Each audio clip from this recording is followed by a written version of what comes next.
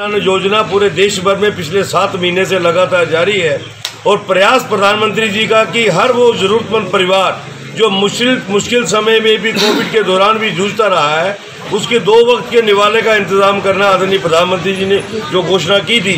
यकीन 80 करोड़ हिंदुस्तानियों को नवंबर महीने तक फ़ी परिवार, फ़ी सदस्य, पाँच किलो राशन हर महीने मुफ़्त मिल रहा है। उसी के निमित्त आज वार्ड नंबर इक्यावन में हमारे ऑनरेबल काउंसिलर राजकुमार जी के नेतृत्व में इस वार्ड के अंदर जो जरूरतमंद परिवार है जो बेनिफिशियरी परिवार हैं, जो हमारी डबल ए वाई खाते में आते हैं, जब पी एच खाते में आते थे, आज उनको हमने मुफ़्त राशन दिया है। लोगों का विश्वास भारतीय जनता पार्टी की लीडरशिप के प्रति और भी मज़बूत हुआ है। और आदरणीय प्रधानमंत्री जी का जो एक मानना है कि जब तक मैं प्रधान सेवक के नाते देश की सेवा कर रहा हूँ, देश का कोई भी परिवार जो है, दो वक्त की रोटी से उसको जूझना ना पड़े। मेरा ऐसा प्रयास है, यकीनन समूचे जम्मू के अंदर हमारी पूरी टीम हर डिपो पे जाकर हर परिवार तक संपर्क कर रहे हैं और बहुत खूबसूरत ये बैग बनाकर हम इस बैग में राशन दे रहे हैं ताकि एक लोगों का हमारे साथ जो संपर्क है और भी मज़बूत हो और लोगों के दिलों के माध्यम से हम लोगों के घरों तक जाने का प्रयास करें। मैं राजकुमार जी और उनकी टीम को बधाई भी दूँगा, जो विकास कार्य के साथ साथ संगठनात्मक गतिविधियाँ भी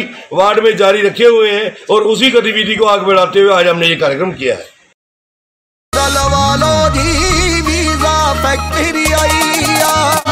ऑस्ट्रेलिया होवे या अमेरिका, हर कंट्री हर मुल्क दा जल्दी वीज़ा लवा लो कभी बेड सोने के अलावा खेल का मैदान होता है।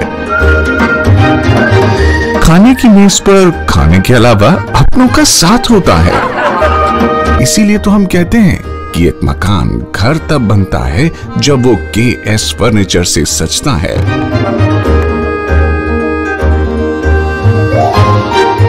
रिश्तों की मिठास का एहसास के एस फर्नीचर के साथ।